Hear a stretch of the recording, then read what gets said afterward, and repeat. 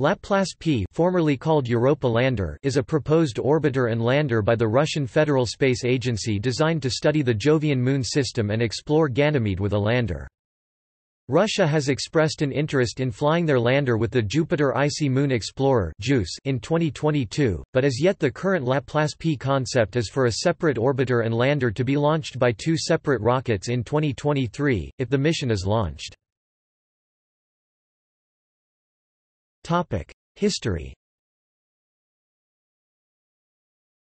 The Europa lander would have been launched in 2020s as part of the Europa-Jupiter system mission proposed in 2007 by the ESA, that would have studied the Jovian moon system as well as the planet Jupiter.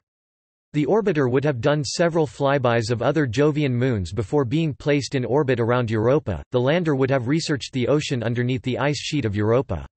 However, to avoid the damaging effects of Jupiter's radiation belts, the destination of the lander was switched in 2011 from Europa to Ganymede.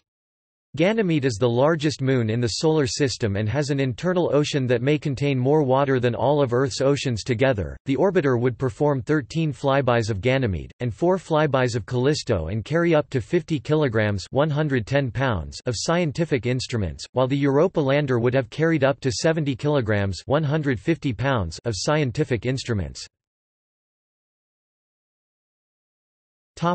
Concept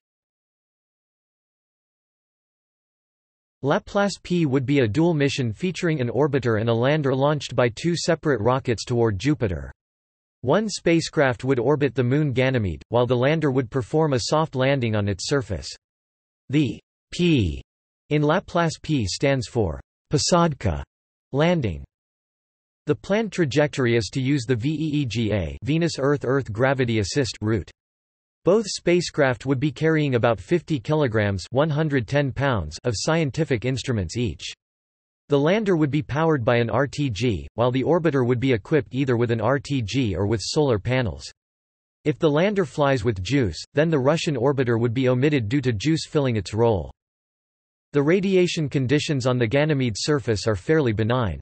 On the other hand, the Ganymedean gravitational parameter (gm equals 9887.8 cubic kilometers per square second) makes the landing on it from the orbit more difficult than in the case of Europa. Topic: See also Moons of Jupiter Europa lander NASA Topic References